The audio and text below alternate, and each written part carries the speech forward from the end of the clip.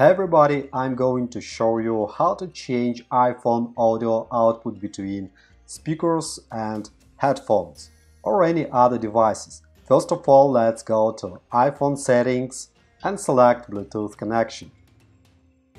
Make sure your device is detected by the iPhone and connected. If your device is connected but not working, click on the info icon next to the device.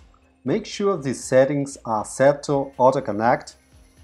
Also, if you have a problem playing audio through your device, scroll down and select Forget this device to reconnect.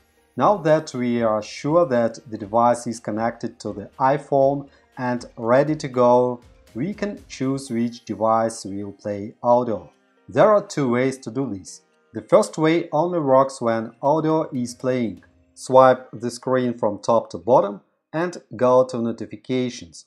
There is nothing here right now. Now I'm going to play a YouTube video, play, and go back to the notification screen.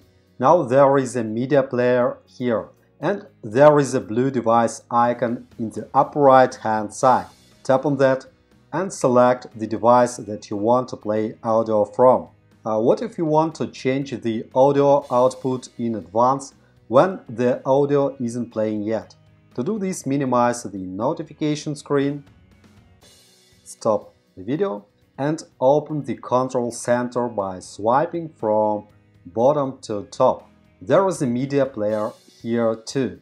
It is always displayed whether audio is playing or not. There is also a blue icon on the top right of the media player. Tap it and select the device you want to use for audio output. If the icon turns white, it means that you're not using a Bluetooth device for audio playback.